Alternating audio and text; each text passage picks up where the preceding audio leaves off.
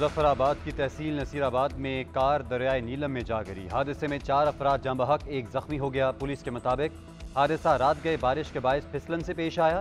جاں بحق ہونے والے افراد کا تعلق جھینگ گاؤں سے تھا۔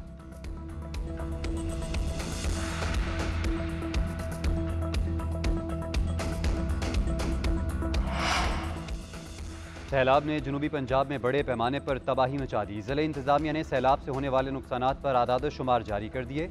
سیلاب کے باعث ایک لاکھ چھیاسٹھ ہزار افراد بے گھر ہو کر نقل مکانی کر چکے۔ ایک لاکھ ساٹھ ہزار ایکڑ پر کھڑی فصلیں تباہ۔ سترہ ہزار پانچ سو انتالیس گھروں مکمل اور جزوی نقصان پہنچا۔ ایک سو ستاون دیہات سیلابی پانی سے متاثر ہوئے۔ دریائے ستلج میں بھوکا پتن کے مقام پر نچلے درجے کا سیلاب۔ ہیڈ سلیمان کی کے مقام پر پانی کی آمد چالیس ہزار کیوسک سے زائد ہو گئی۔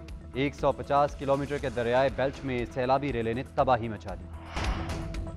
الیکشن کمیشن کا عام انتخابات جنوری کے آخر یا فروری کے پہلے ہفتے میں کروانے کا فیصلہ۔ ذرائع کے مطابق الیکشن کمیشن حکام نے مجوزہ پلان تیار کر لیا۔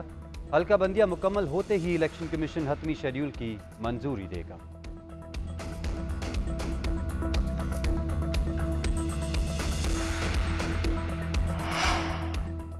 پاک بھارت میچ میں بارش کی فتح۔ بادلوں نے پاکستان کو آؤٹ لاسٹ بولنگ پر پانی پھیر دیا۔ ایشیا کپ کا سب سے بڑا ٹاکرا بارش کی نظر پاکستان اور بھارت کے درمیان میچ بغیر نتیجہ ختم۔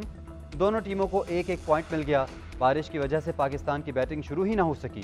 بھارت نے پاکستان کو جیت کے لیے دو سو سڑسٹھ رنز کا ہدف دیا تھا۔ کرکٹ کے متوالے بابر اعظم کے شاندار کور ڈرائیو، فخر زمان اور افتخار احمد کے چوکے چھکے دیکھنے سے محروم رہے۔ بارش کے باعث میچ برابر ہونے پر پاکستان ٹیم سپر فور مرحلے میں پہنچ گئی۔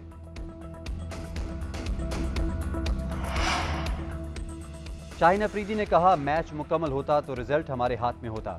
میچ کے بعد گفتگو کرتے ہوئے بولے، کوشش یہی ہوتی ہے کہ پہلے اوور میں بریک تھرو لوں اور وہی ہوا، ان اور آؤٹ سوئنگ کا کمبینیشن رکھا جو مددگار ثابت ہوا۔ کوہلی کی وکٹ سب سے زیادہ اہم تھی، وہ انڈین بیٹنگ لائن کی ریڑھ کی ہڈی ہے۔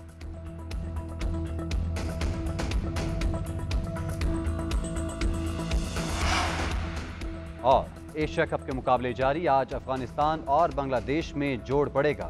لاہور کے قذافی اسٹیڈیم میں میچ پاکستانی وقت کے مطابق ڈھائی بجے شروع ہوگا۔